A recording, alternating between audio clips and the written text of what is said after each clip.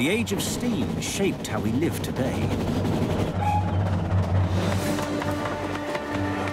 The Victorians laid over 20,000 miles of lines in the biggest engineering project the country has ever seen. Connecting our towns with high-speed links, revolutionizing trade and transportation, communication and recreation. It was the greatest transformation in our history. But how did it happen? To find out, historians Ruth Goodman, Alex Langlands, Shoveling coal is something I'm going to get very, very familiar with. and Peter Gill are bringing the railways back to life as they would have been during the golden age of steam. I feel like I'm in a western. This is very definitely the best steam engine I've ever been on.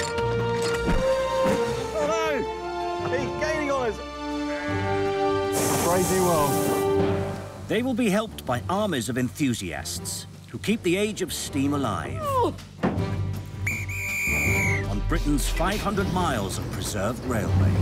This is the way to experience train travel, isn't it? It is. They'll follow in the footsteps of the world's finest engineers, These are the men that built Britain's railways. those who ran it, This is brutal. This is savage industrialism. Those for whom life would never be the same again. Internet, pa! It had nothing like the impact of the railways. This is the story of how the railways created modern Britain.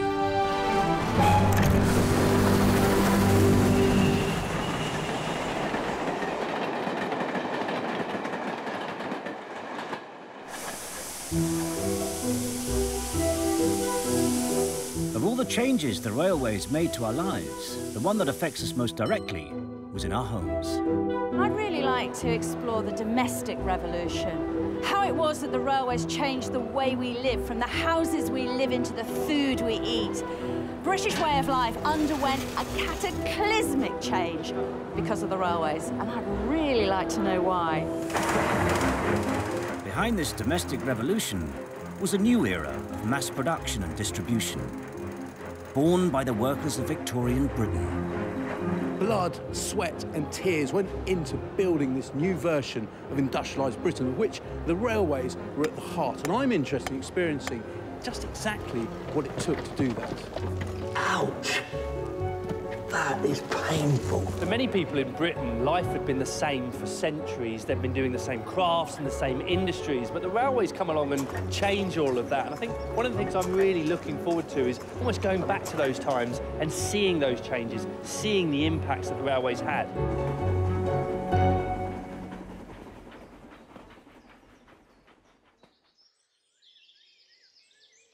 In 1800, before the railways were built, Britain was a very different place. 80% of people lived and worked in the countryside, and life at home had changed little for centuries.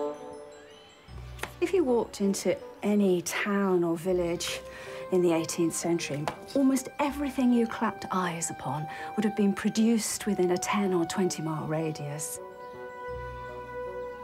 Even at its most basic level, look, I'm, I'm getting wood for a fire here. And in the 18th century, most people outside of London still cooked on wood. From the clothes people wore, to the food they ate, to the houses they lived in, to the plates that they ate and drank off. Local produce made by local craftsmen was the norm. Go on, you're getting the hang of this. Superb. Beautiful. The main form of transport was the horse and cart, with wheels made by the village wheelwright. But as more and more villages came in range of a railway station, its days were numbered. all of those individual crafts that had sustained life within the village came under threat because materials, products, manufactured goods could be brought into that village from all over the country. The railways meant villages no longer had to be self-sufficient. Handmade items were superseded by cheaper factory-made products, distributed across the country. It's fantastic to see one of these ancient crafts a craft that would have been fast disappearing in the 19th century. Before the railways, even the way we built our homes was different. Houses would have been constructed from local materials, roofed with whatever could be sourced nearby. Sometimes this was slabs of stone, but in many villages, they were thatched with wheat stems, straw. Keith Payne is one of the few still working as a thatcher today. Where would a thatcher have got his material from then, Keith? No, well, this would have all been grown locally. Right, OK. You know, just for the grain, yeah.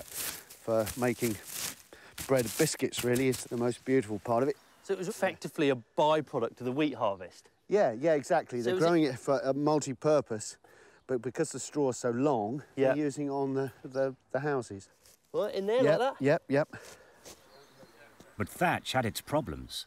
For one, straw was only available once a year, at harvest time. And thatched roofs need constant maintenance.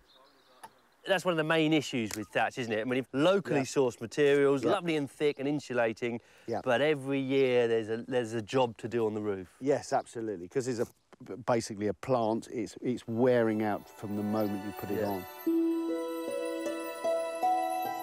What was needed was a readily available, cheap, durable alternative. The ideal roofing material was slate, hewn from the ground in just a few remote areas of Britain.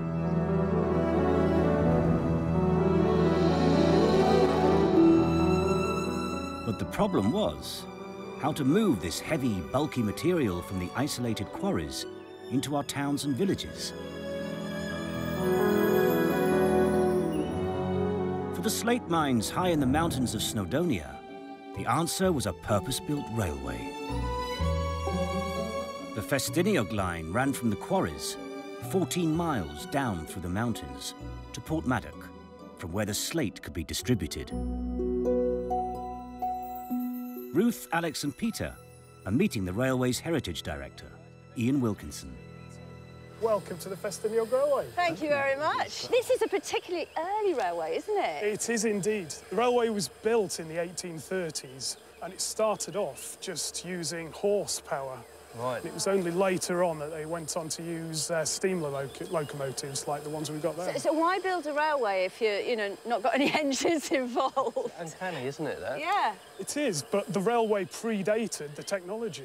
So steam locomotives simply didn't exist. So there's a whole bunch of railways that were up and running before steam engine. Yeah, centuries before, if anything. And it was simply a good, reasonably friction-free way to move lots of goods He- around. Heavy bulk goods in particular. Exactly, yes, slate. In 1830, there were just a handful of railways in Britain, virtually all of them carrying minerals from mines and quarries. Back then, steam locomotives were in their infancy and were both expensive and unreliable. So horses were used instead. Festiniog is an amazing example of those early railways. You have the mine uphill and the port downhill.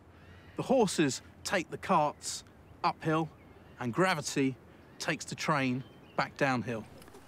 But there are few records of how it actually operated. is we've got a couple of wagons here. We've got a pony with us, and we're just experimenting to see how it would have worked. Who have you got here for us today? We've got Tickle here. Tickle. She's a Welsh pony. Right, so she was bred in these mountains. She was, yes. And how old's Tickle? Tickle is 12 years old. Right, OK, so she's good for this kind of work. She's very steady, yeah, a bit keen, but uh, Right. How do you think she's going to cope with moving these great big lumbering wagons? I think she'll be pretty determined to get it moving, Right, OK. and then she'll keep it moving. She's Stand already still. ready to go. Peter and Alex are manning the brakes. If the horse stops suddenly and the wagons keep on moving, it could break Tickle's legs. It's all very well me stopping this one, but your one will still be running. Yeah. And if you've got seven of these, then the distance that they'll span out is actually quite a lot. So if Yeah. that horse just stops, we've got to be on it.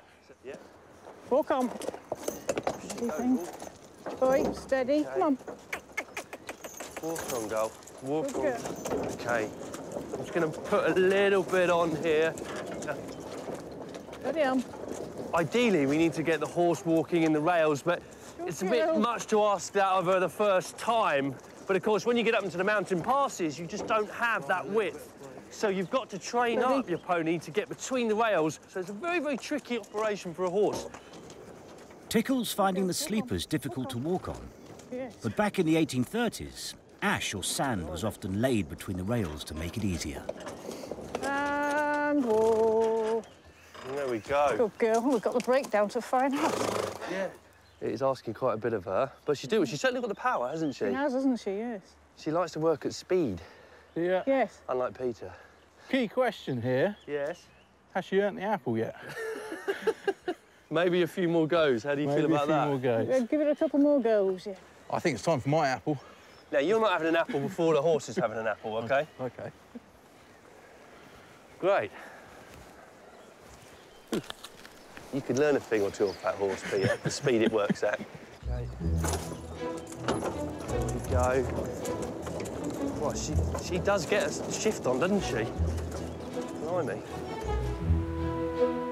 This is a section of the 14-mile track laid in the 1830s to carry the horse-drawn slate wagons from the mountainous quarries down to Porthmadog. Yeah, keep going, lads. Alan Tomlinson and his permanent way team are responsible for maintaining it today. You know, the permanent way is just not the track. Yeah. It's everything within this area.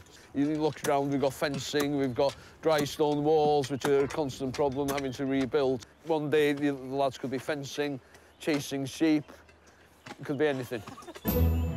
Because the Festiniog line was built in a mountainous area, it had far more tunnels, cuttings, and tight bends than a regular railway. And in the 1830s, all this had to be dug out by hand.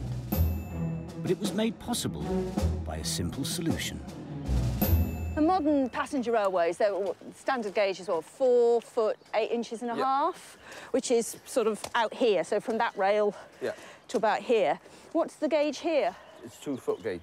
Just little two Yes. foot. These sort of narrow gauge railways are very good at getting through a landscape like this and Well, yeah, that's why it's been designed like this because of the geography of, of the land. You know, uh, narrow gauge was um, the only option.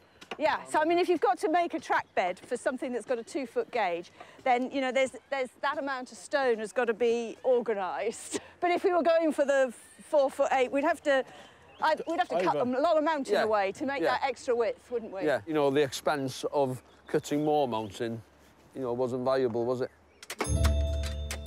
The Festiniog Railway opened up new markets for slate. By the 1860s, demand was outstripping supply. The horse-drawn trains simply weren't powerful enough. So in 1863, they invested in Prince, their first steam locomotive.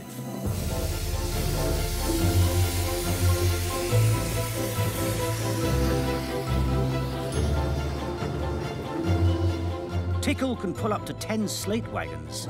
Prince, over a 100. This must have been like in the 1860s. When these turned up, it would have been like the space age, you know, and speed as well, because of course it was gonna, would have gone a lot faster than a horse could have gone. Totally revolutionary at the time. With nothing to compare it against, it must have been quite extraordinary. The introduction of steam-hauled slate trains on the Festiniog line meant production could be boosted tenfold. Most of these slates were used to build terraced housing as the Industrial Revolution drew workers from their rural cottages. At Beamish in County Durham, they reconstructed a pit village as it would have been in 1900. Before the railways, straight streets, squares, crescents were the preserve of the wealthy elite, found in places like Bath, London, Bristol. The railways, however, brought that sort of town planning to the rest of us. I mean, look at this. This could be almost anywhere, in any industrial town in Britain. You've got standardised slates, you've got standardised bricks. There is no sense of individual place, no regionality.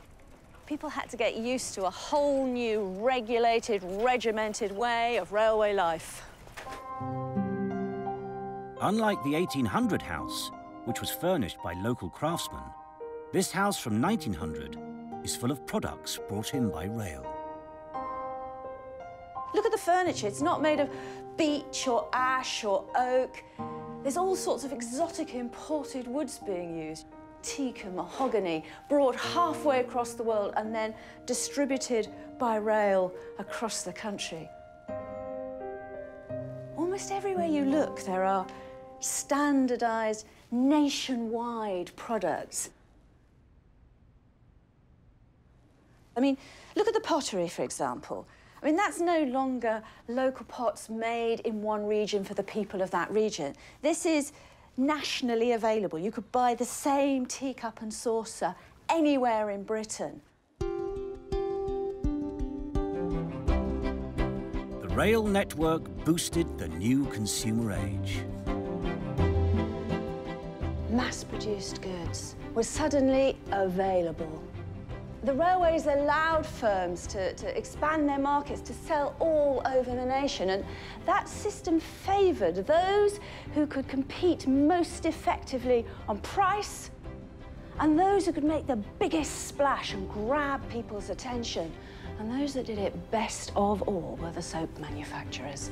I mean, many of these names are still with us today. Look, we've got Lux and Reckitt's and Colman's and Lifebuoy and Sunlight we see for the first time great national brands.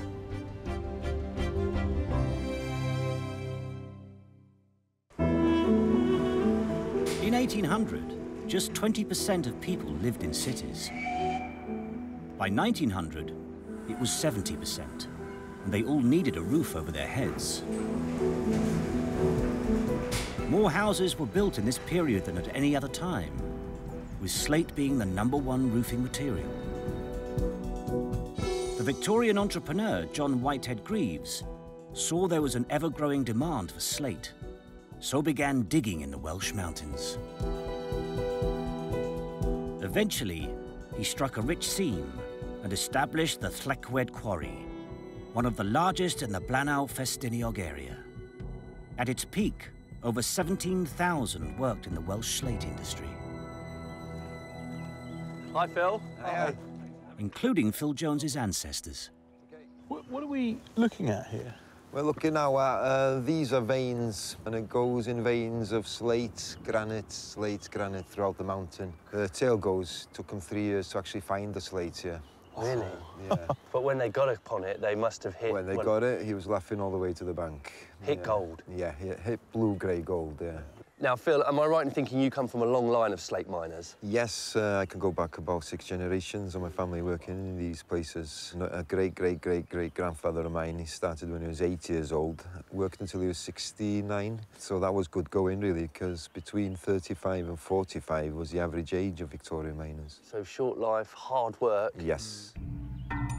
The glory days of the Welsh slate industry ended after the Second World War when cheaper imported slate and clay tiles took away business. But underground, the Llechwedd slate caverns are frozen in time, as they would have been when the Festiniog Railway made it the slate capital of the world. This is amazing, Phil. Yeah, all dug out by hand. This is like a sort of lost world here, isn't it? This is an original candle from the 1800s. This is an original candle? Yeah. Oh, my goodness. Been burning a long time? It, yeah. Got 250 chambers altogether in this uh, mine and 25 miles of tunnel connecting all the chambers. it's quite big, but then uh, it's not the biggest in the world. That, that is incomprehensible. Biggest in the world is across the road. Really? in the gloom, quarrymen extracted slabs of slate from the cavern. To do this, holes were drilled into which explosives were packed. I don't feel like I'm doing anything. You are kicking out a bit of dust. I'm seeing the dust coming out there. So, um, we'll leave you down here then, Peter, shall we? And, uh... to drill, the quarrymen often had to scale the cavern walls. So here he goes. So this all looks fairly ominous, Shane. Yeah, you know, when they were working at this angle, they would have to have some sort of support. Slate has razor-like edges that could sever rope, so chains were used instead. So you're wrapping that right up there in your leg. Now I'm using my own weight, keep myself in position. So now you can drill. Now I can drill, yeah. Can you pass me the...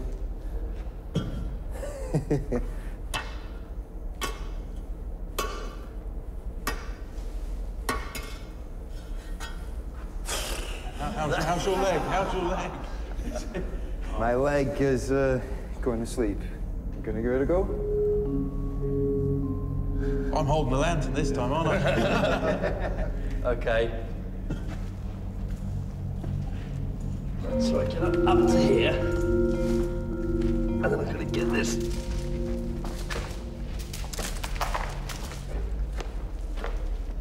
Oh, goodness me. Ouch. That is painful. It is, isn't it? That is extremely painful. Oh, I think I'm pinching something, Peter. did, did you dress to the left this morning, or...? oh, God. So then I've got to drill. What's your drill With that. That is incredibly painful. Yeah. I don't think I should. Okay. It's obviously in your blood, Phil. That's what my grandfather did. And my father.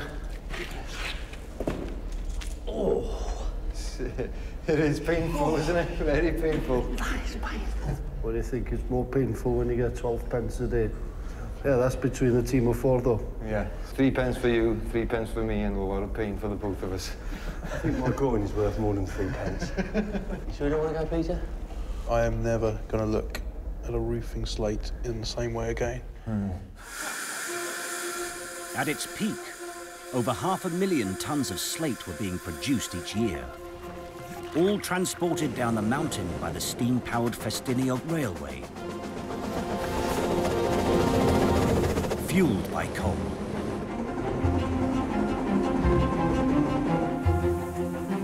Coal was vital to the Industrial Revolution, enabling factories to mass-produce goods and railways to distribute them. But in the 1840s, many of Britain's railways had different widths of track, so wagons from one line wouldn't fit on another. Look, for example, at the size of the coal wagons here in comparison to the wagons, those little slate wagons that we saw at the Festiniog. So in 1846, the government ruled that all future lines should adopt the same width.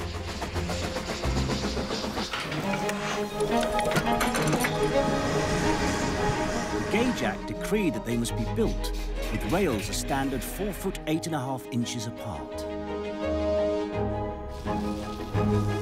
And this standard meant that they could join up together at last. It also meant that wagons became standardised too, so that the same wagon could run from one end of the country to the other, joining up one business with another.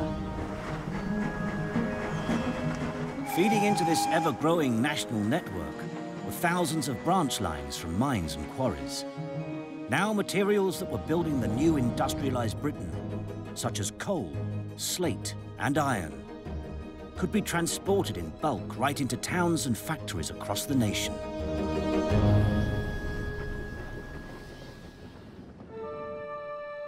There were over 1,500 lines from collieries alone, one of which was the Foxfield Railway, near Stoke. It ran from the Foxfield Colliery to a mainline junction where it connected to the national network. When the pit closed in 1965, the line was preserved by a team of volunteers, including Ron Wally. So it wasn't a passenger line, it wasn't for anything else, it was just for single purpose shifting coal. Yeah, the mine owners wanted a means of getting the coal to outside industry as cheaply as possible, and they wanted a railway, so they built one. Um, and you can see it's a, a most a peculiar very- shape. it's a very odd route. Uh, the reason for that is there was a stately home there, and the lord of the manor didn't didn't want the railway running through his front garden, so it had to avoid that. But there was a hill here, so it went round the hill and then drops at this alarming gradient at Uh, and the steepest Good. bit is about one in 19. One in 19? Yeah. That's so really steep that's- for railway. It is really steep for a railway, yes. This is Britain's steepest line. But whereas at Festiniog full wagons run downhill, here it's the other way round. So the wagons are going full. The full up. wagons are going up the gradient. It's the most uneconomical thing you can possibly imagine, really.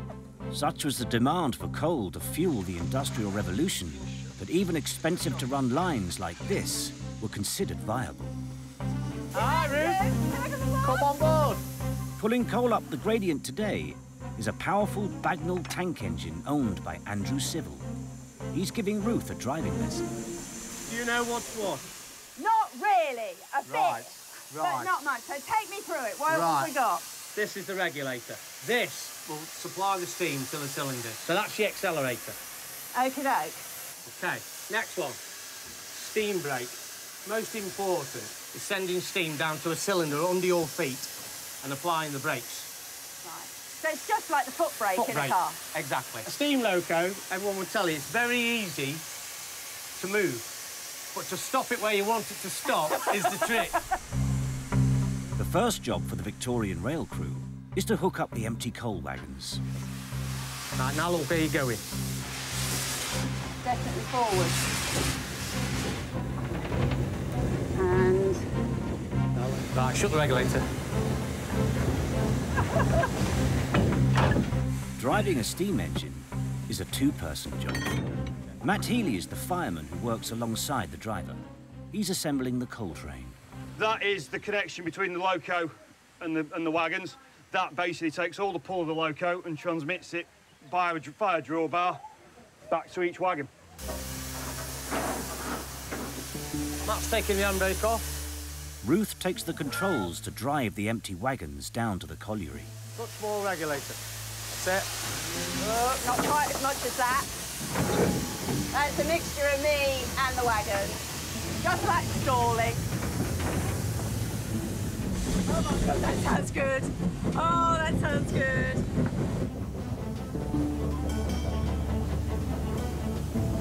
A Little bit more regulator. Bit more. Oh, there it comes. Listen to that chuff. Wow, the power. You can really feel it.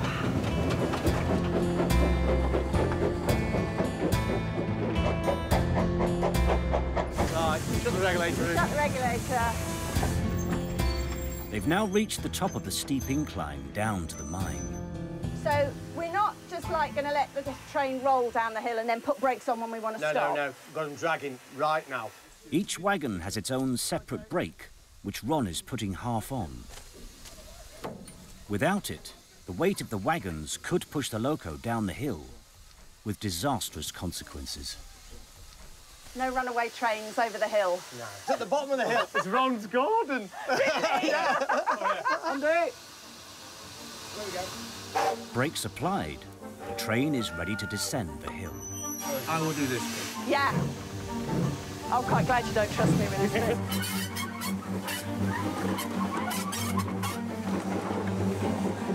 Even an empty coal train weighs over 50 tons.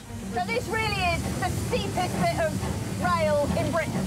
We're coming to the steepest bit now. I can feel it, actually. That must be the colouring. At its peak, this colliery produced 200,000 tons of coal each year. So the next thing is to load up with coal. And then we've got to haul it up that hill.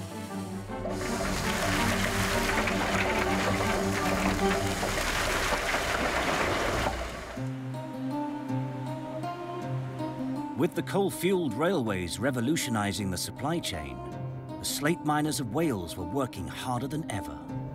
To keep up with demand, the men endured 12-hour shifts underground, broken by just one half-hour rest. The tea would be made in the morning, like ours is. Yeah. And, I mean, you could queer out a fence with that, to be honest. but you'd, you'd warm it up, actually, at the point of your lunch.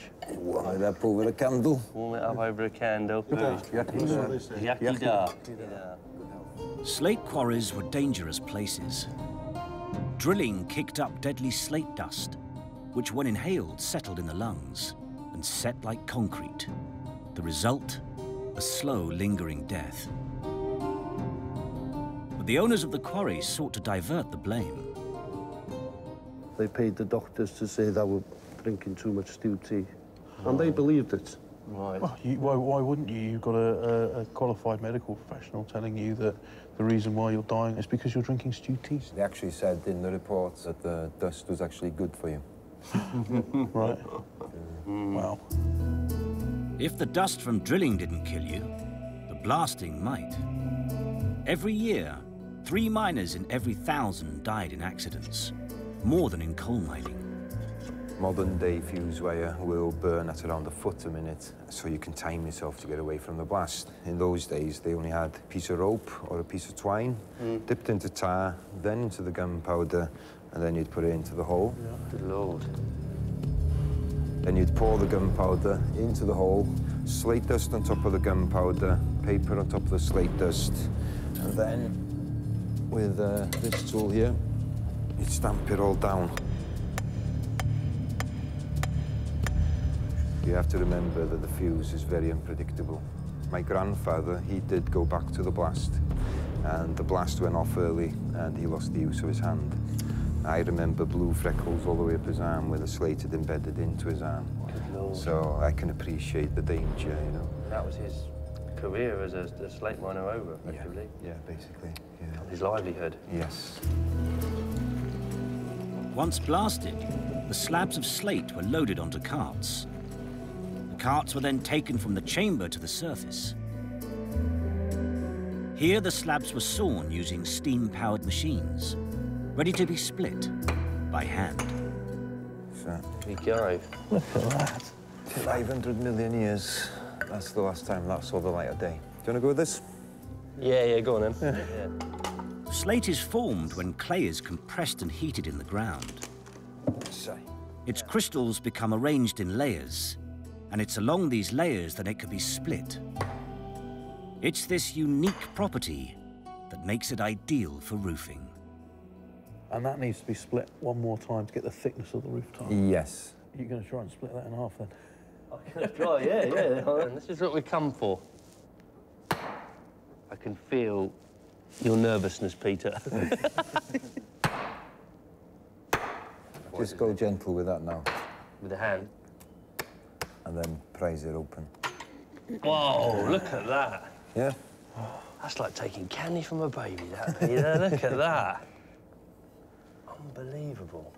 What a fantastic material. It just sheds water. It's impenetrable. Yeah. Next, the split layers are cut to size. Oh, and those fingers of yours, Peter. All, all in the wrist. The finished slates were given regal names according to their sizes. The largest were called Empress, then Duchess, Countess, and Lady for the smallest. With my slating skills, we've invented a new roof tile. Yes. The parlour maid. Cutting slate into tiles was a wasteful process. Just 10% of the quarried rock was taken by train down the mountain. The rest was dumped on spoil heaps, which still litter the Blaenau Festiniog landscape today. Coal production created even more waste. At its peak, over 500 million tons were mined and transported by rail each year. At Foxfield, even this small coal train weighs over 200 tons. To help it grip the track up the steep hill to the main line, Matt's giving the loco a little help. Filling the sandboxes up with sand so that if we slip, we've got some sand to put on the rails. There's a steam jet in there which grabs hold of the sand and blows it out through that pipe. So is this what they should do when they got leaves on the line then? Yeah, basically, yeah, it is. And modern trains do have them. Do they Yeah, really? they- about 10, 15 years ago, they reintroduced sanding gear onto modern trains to counteract slippage. Whereas rubber car tyres grip the road firmly, a steel train wheel against a steel rail gives very little traction. So forcing sand between the wheels and the track helps it grip.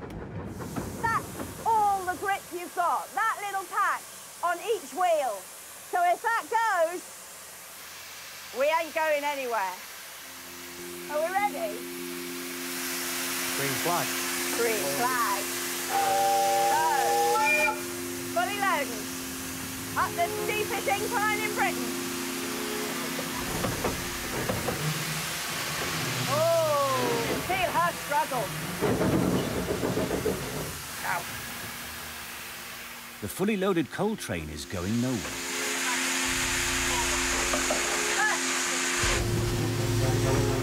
Despite sand being used, the wheels are slipping.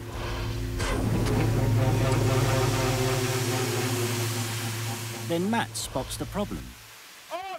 The brakes are pinned. The wagon's brakes were left on after descending the hill.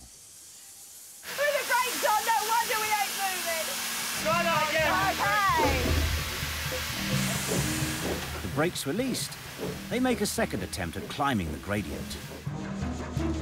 At the first sign of slippage, Andy applies sand to the track to increase traction.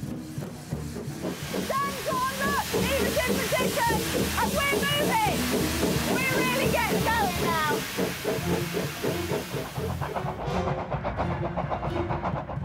She's really working now to get us up here, isn't she? Climbing steep hills is where a fireman really earns his money. He must continually shovel coal, keeping the fire raging to maintain steam. If the steam runs short, the load will pull the loco back down the hill. Is flat out. There is absolutely nothing left.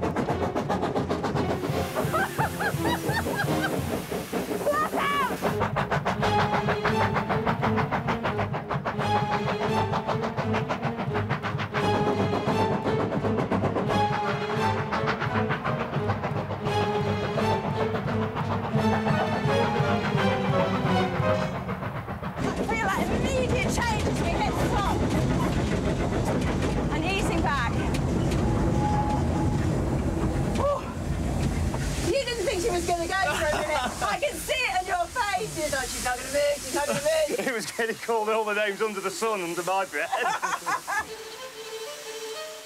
But joy at hitting the top of the hill is short-lived. I can see flames. Yeah, I can see flames. Working the steam locomotive flat out has drawn burning coals up and out of the chimney, setting fire to the embankment. All the early railways, the steam days, had to keep their banks really tidy because of exactly this problem. They had to manage the whole landscape, keep it as flat and as green as possible.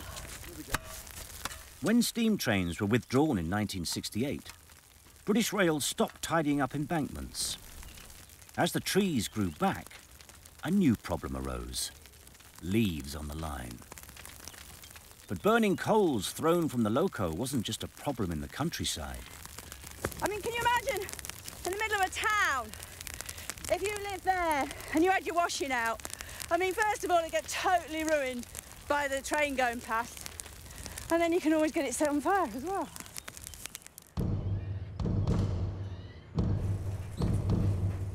For centuries, wood had been burned to cook food and to heat homes. But the arrival of the railway in a town meant coal prices fell by a third. It quickly became the fuel of choice, burning hotter and for longer than wood. But there was a downside. Look at that. Filthy, isn't it? And that is the problem with coal fires. They leave this awful muck over everything. It's not just like dust falling out of the fire. It's also the smoke creates sort of like smuts in the air, so they're, they're almost like little black snowflakes. They're filthy and they're sticky and they make everything. Ah. It creates this vast burden of housework. Coal trapped women within the home. Before the railways, wash day might be just once a month. Now it was weekly, and shifting coal smuts required carbolic soap. Unfortunately, it doesn't activate in cold water. So in order to make the soap work, I have to have not only it grated down like that, but I have to have hot water, therefore burning more coal. Likewise, my washing water also has to be warm or hot. I mean, quite hot, actually. Or the soap will not activate, will not do its job. So, because I have a coal fire, I have to use the soap. Because I'm using soap, I have to use more coal fire.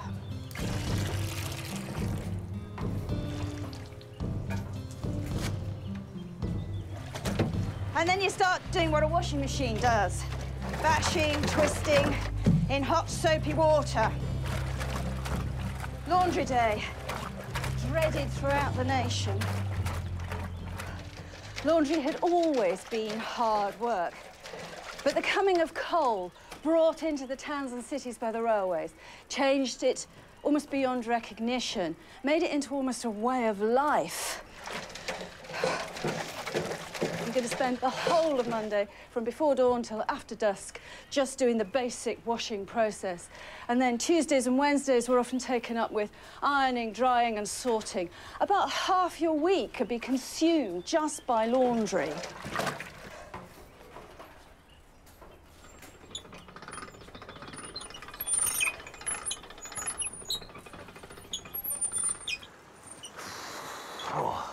Fantastic landscape, Peter. It really is. Beautiful. Oh, Peter, one in ten, mate. One in ten. Come on. Chop, chop.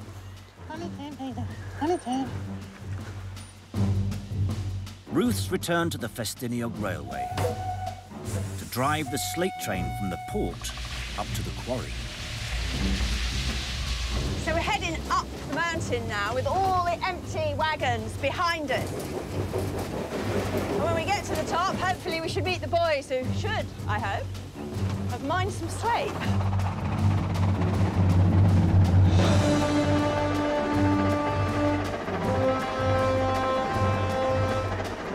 Such was the scale of the operation that often two locomotives were needed to haul the wagons.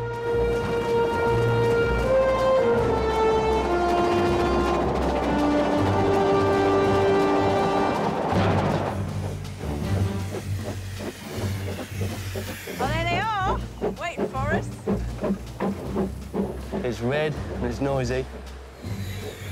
It's a nice steam engine as well, isn't it? Wonderful. We have some slates for you as well. Woo! Oh, they look proper, Here don't are- they? these are lady slates. Lady slate. Yeah, do they meet with your Special- approval? Special female slate. Yeah. They're lovely. Well, la- la- ladies the size. I mean, they've, Oh, all, they've all got names. They're predominantly female names, but ladies actually quite a manageable size. Some of these things are pretty pretty big. Oh, So this is a lady you can handle, Peter. The slates are loaded onto the train. You're all right. I only brought a lady-sized stack of ladies. All right, yeah. The wagons are tightly packed, so the fragile cargo reaches the port intact. You can certainly see how these things would have rattled around and you'd have lost slates because we're going to need a lot more to pack them in because otherwise like, we'll have a load of coasters for cups by the time we get, get to the end.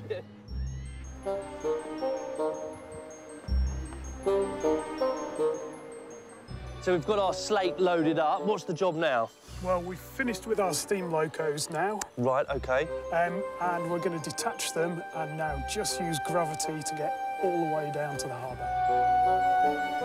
It's known as the oldest roller coaster on Earth. I like it. Right. Great. Right, slates to the sea then? Yep, slates to the sea. In one go, 120 wagons carrying 500 tons of slate could be rolled from the quarry 14 miles downhill to the main line. So Ruth on there. Okay. Oh. Peter with William. Peter on there, good. And I'm on the Alex, important if you want carriage. to come up front yes. with me. Ian is the driver of the engineless oh. train. His only means of control are simple brakes on each wagon, which Alex, Peter and Ruth must help operate. Okay, let's go.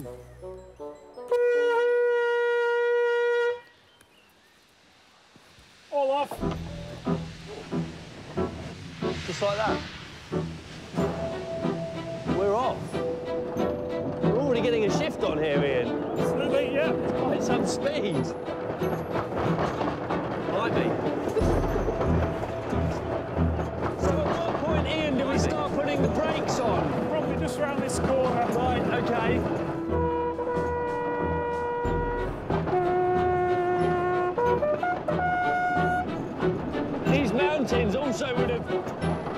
Supported a thriving sheep industry with lots and lots of crossings. And this is what Ian's bugling for.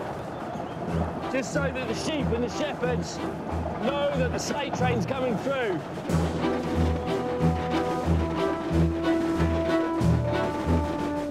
Still haven't applied any brakes yet, Ian.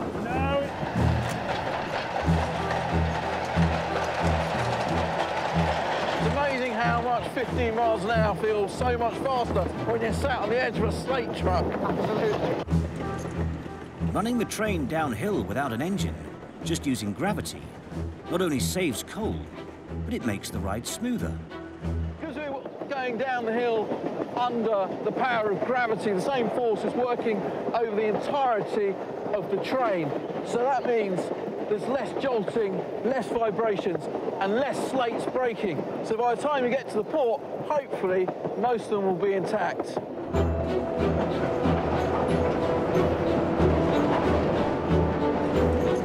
It's the responsibility of the driver to maintain enough speed to carry the wagons to the end of the line.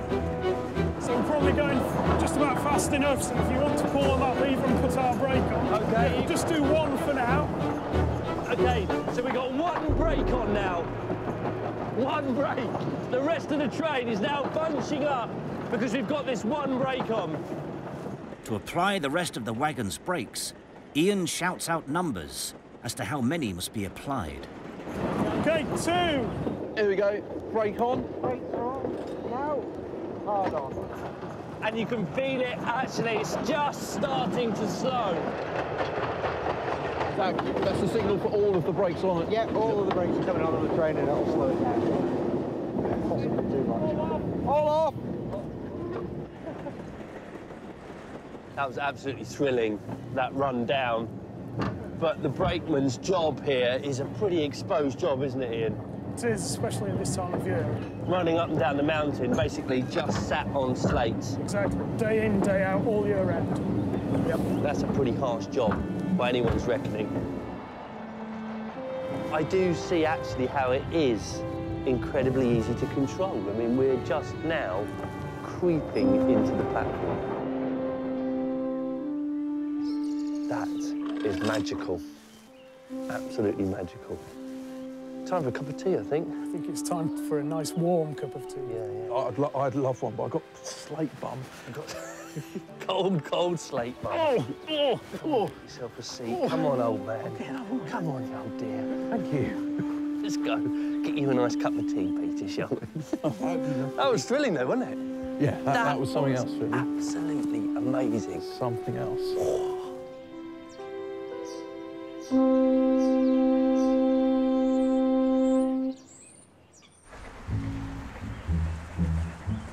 Once the slate had been brought down the mountain on the narrow gauge railway,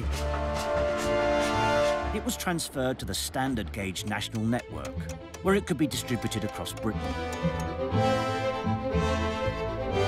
By the 1880s, the railways had connected all of Britain's cities. St Pancras Station in London, completed in 1876, connected the capital to the Midlands. I absolutely love this station. It is breathtaking. And to think they were going to pull it down, my goodness. Today it stands as a testament to the railway's ability to move bulky building materials across Britain. We are stood right on the limit of Georgian London, and those houses, they're built out of bricks that are made locally using clay that's dug out from the very ground below us. And it forms what is known as a London brick, which is very, very yellow in colour. But St Pancras is made out of red bricks. And that's because St Pancras is built out of materials that have been brought here by the railways. The bricks that face the building have come from Nottingham. The red stonework was also brought in by rail from Mansfield. The white stone from Ancaster in Lincolnshire. And the ironwork that spans the ceiling from Derbyshire. The crowning glory of this building is its roof. It is beautiful. And it is made out of, you've guessed it, hundreds of thousands of slates. Many of those slates have been mined from the Welsh slate mines that surround the Festiniog Railway. And those slates have travelled down the very same gravity train that we've sat on. I mean, this place, it's a monument to the railways. It is a statement of their prowess in being able to move bulk goods from the heart of the country into the capital of the industrialised world.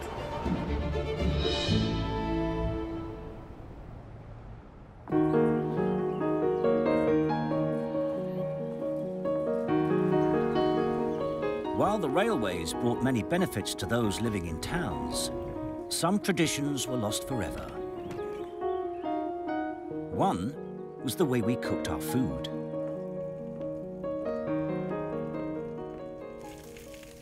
If you roast a piece of meat in front of a wood fire, all the fat draws in the flavours from the wood smoke and it's just divine. But the railways meant people switched from cooking on wood to coal. Anything that's roasted or open cooked where the smoke can get at it is going to get that taint. In front of a coal fire, it does the same thing with the cold smoke and it tastes disgusting. So people have to start changing the way they cook. Open fires were replaced with cast iron ranges that separate the smoky burning coal from the food, with an oven and a hob. Meant that spit roasted beef was consigned to history. The tradition of Britain as the home of roast beef underwent a major overhaul as soon as the railways started moving coal into ordinary people's houses. Ruth's unearthed a recipe from the 19th century. Spuds, lots of spuds in a baking tray, a saucer, breadcrumbs, It shows how people adapted from roasting beef on wood to baking it with coal. So I want you to think of this as a very typical post-railway dinner. The sort of thing you would have once coal had taken over your life. Knob of fat, I've got a bit of butter. And now my beef goes on top. And that sits right on top of the saucer. Next, some hot water. And this water goes around the potatoes. Controlling the temperature of a coal oven was difficult, but the water provided an ingenious way of stopping it overheating. If you've got water present, you know, it sort of evens out temperatures. The traditional food of Britain was changing. Gone with the 18th century recipes. The whole of the traditional British diet was under attack from the railways. It wasn't just our diet that was changing, so was our kitchenware. This is, is more or less the traditional shape of pots, cooking pots in Britain. For over 500 years, they had been round-bottomed and with legs. On a wood fire, the flames come up, they hit the bottom of that round shape, and then as they come up, they spread out and lick around the pot. But look at it on here. the traditional pans of Britain did not work on these new coal fires. You just had to replace them. There was no choice. You suddenly had to go for flat bottom pans, like the kettle, like the saucepans that we're all used to. Moreover, on a wood fire, an iron pot, say something like this, will in fact last two, three, four hundred years. The sort of thing that can be passed down in your family, an heirloom. It's just going nowhere. But if you put the pan directly over the coal, you're looking at a lifespan of no more than 20 years. From something that could last you generation after generation after generation that could be passed down to something that you're going to have to replace a couple of times in your lifetime. So all this coal that the railways are bringing into towns and villages and cities all over Britain are bringing with it a new demand for ironware. The terraced miners' cottages were all pretty much identical, but there was one place the occupiers could express their individuality. In the garden. These gardens very quickly became a source of pride because this was the opportunity really to differentiate yourselves from your neighbours. You know, you were all living in essentially exactly the same buildings. You needed some way to say, look, I'm different. This is all about me. You could keep your garden meticulously clean and highly productive. And it said something about you as a member of this community. But of course, the main benefit that all of this was to have was the fact for the first time, really, these industrial communities had the opportunity to grow their own fresh fruit and veg. These will go lovely, I think, with our baked beef.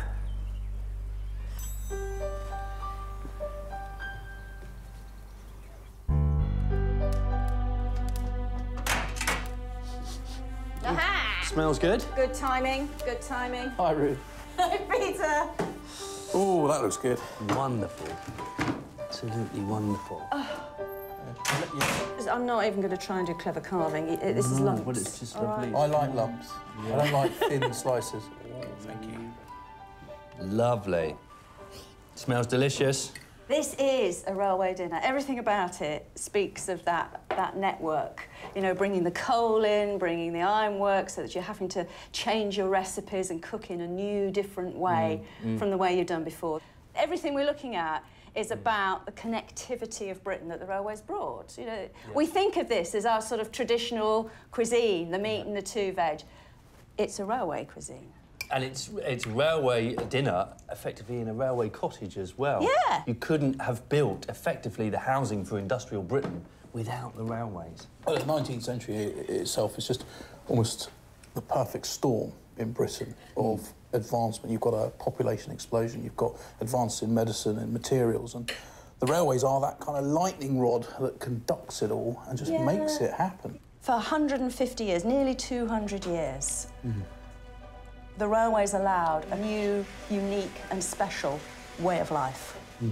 It's probably, I think, the, the most amazing legacy from the industrial period of the railway networks Yeah. that still furnish our modern British cities and still function and enable those cities to function. Exactly. Hmm. So railway food, it's good, but it's not quite as good as the old roast beef, is it? You don't think? No. I don't know, Ruth. This is pretty good.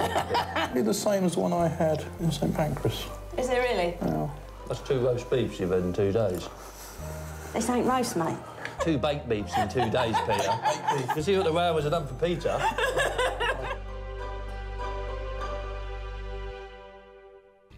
Next time, we see how the railways transformed from being a carrier of goods to a carrier of people. I mean, it's nicely painted. It's all lovely and clean in here. There is just a wooden wagon with some wooden benches. Experience the life of the workers who built the new network. I think you left it in the pot a bit long there. Seen better days. I'll give it a clean up, it'll be fine. And find out what it was like to be a passenger in Victorian Britain.